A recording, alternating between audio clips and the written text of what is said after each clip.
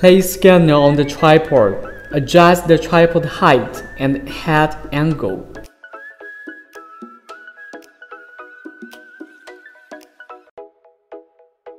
Click Fix Scan Model and select Auto Scan. Choose Folder to build a new project.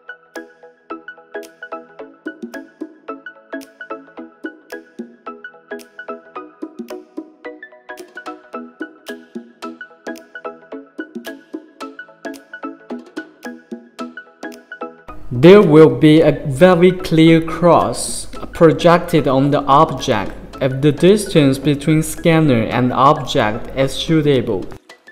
Adjust the scroll bar under the preview window to adjust the exposure intensity to make sure that you can clearly observe the object. After the adjustment is completed, click the Start button to start scanning.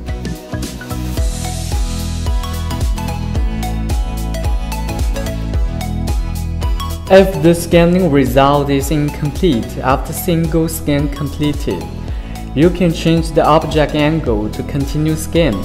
Two scanning result will be aligned automatically. You can align manually if automatic alignment failed. Click Align. Find three common points from two scans. Hold down Shift button to select. Two scan will align.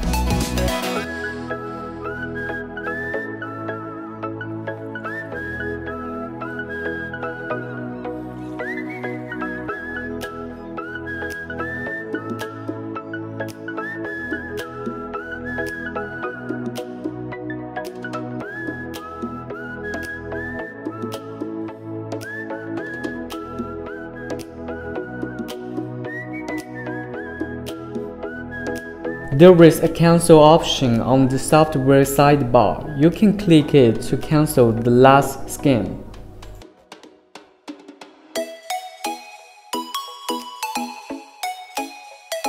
The software has some functions of easy edition. You can hold down the shift, use mouse left button to select.